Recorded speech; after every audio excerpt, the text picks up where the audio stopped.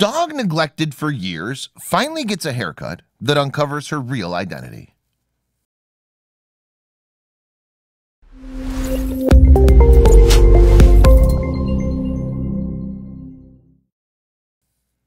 This story isn't about a puppy having something goofy shaved onto its belly. The dog in this story was neglected, silently curled up on the floor of its owner's home for a long time.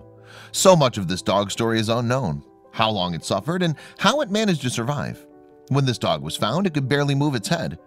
This is a story about the harsh reality faced by animal shelters every day. Sometimes an animal is brought in that's so transformed by neglect that hope for survival is slim. But the Nebraska Humane Society wasn't about to give up on little Ellie Mae. Rescuers were sure her next haircut wouldn't just make her adorable, it would save her life. When Ellie Mae was discovered, no one could tell she was alive. All a rescuer saw was a giant clump of tangled fur on the floor. It looked like something you'd see from Jim Henson's abandoned creature shop. But then it moved, though only slightly. No one knows how long Ellie Mae had been on the floor, weighed down by a mess of matted dirty fur. After all, her rescuers hadn't even expected to find her where they did. The old woman who had lived in the house had died, and they were supposed to clean and empty the home. They expected to see dust bunnies, sure, but never the matted, breathing creature they couldn't make heads or tails of. Still, they knew what they had to do. Even if the sight and smell of the creature made them gag, they tried to coax it into a standing position, but all the creature could do was lie there and breathe. They had no choice. Ellie Mae's rescuers lifted her body off the ground and placed her into a storage tote before bringing her to the Nebraska Humane Society. The specialist at the shelter had seen some grisly cases before, but never like this. Even the veterinarians had no idea what kind of creature it was. That is, until they made a crack in the matted shell. Looking up at them were the terrified eyes of a dog, trapped within its own prison of fur. The vets sprung into action. First, they had to shave her, but not with a buzzer. The severity of the case required surgical blades, which they held as close to the skin as possible. She was covered in sores, which necessitated anesthesia. But there was no way for them to know her exact weight, and they ran the risk of accidentally overdosing her. As minutes passed and Ellie Mae whimpered with pain, they had no choice but to estimate the correct dosage. We carefully cut through the grimy hair with no idea what we'd find underneath, the NHS explained on Twitter. There was a sense of trepidation. They'd seen similar, though not as severe, cases in the past, and it never ended well. A past dog had matted hair so bad it cut off the blood flow of the dog's legs, the NHS said. The only solution had been amputation. Other past cases had been even worse. There were other instances where a dog's limbs were strangled and naturally amputated by its own fur.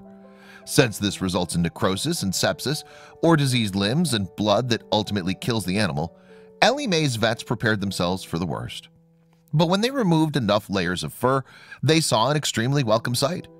Ellie Mae's legs pink with blood flow. As they continued shaving, however, the vets realized that the matted fur wasn't the only thing preventing Ellie Mae from walking. Her toenails were 7 inches long, and as the NHS described, they were cocooned in hair, feces, and years of grit. The more they shaved, the worse Ellie Mae looked.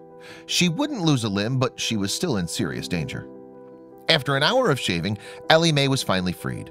The matted fur weighed 9 pounds, astounding considering how Ellie Mae herself is just 11 pounds.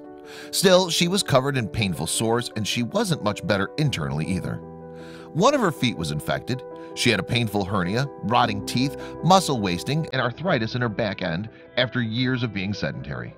Despite all these serious health problems, the shelter staff considered Ellie Mae lucky.